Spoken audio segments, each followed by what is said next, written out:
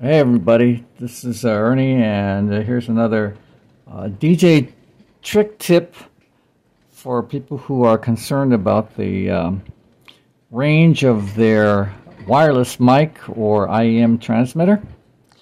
And um, basically, a lot of folks out there are just telling people who have quarter wave antennas to buy a one of these, a half wave antenna and you'll get better reception. Of course, you will. Uh, we're only talking 1.74 dBs more, which is really not much. And they are right about one thing it will go out further because it's taller. But let me show you something here. Right inside this big half wave antenna is this puny little antenna with broadcast ranger here. And this thing here, it's called a helix. Basically what it is, it's coils on here. This one has six coils. And the base, six coils, and this little wire here. So each of these uh, he helixes, these coils here, represents six of these. But if you buy a conventional telescoping antenna like this one that has BNC, you can go even further out.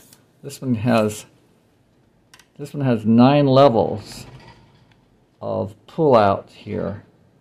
It goes up pretty far. It goes like maybe 36 inches, 35 inches. So it's pretty high. Okay. But it really doesn't mean that much because it really depends on two things. How much, well, actually goes further than that.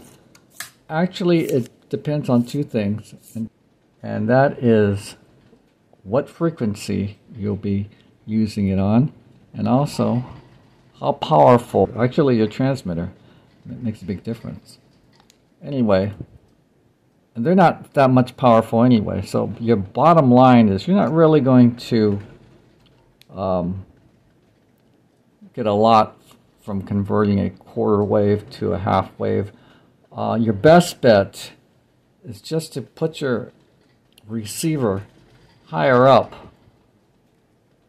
You know, place it, you know, six or six feet up in the air then you won't have any problem going through um, obstacles, people, people, people's heads, trees, things like that. But you got to remember, it's not going to, doesn't do very well after 100 feet.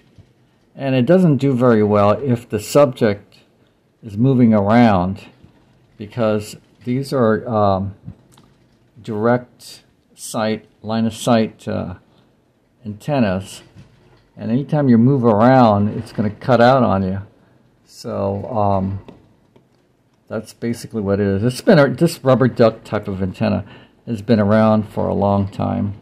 I, I believe probably what the early 60s or something like that.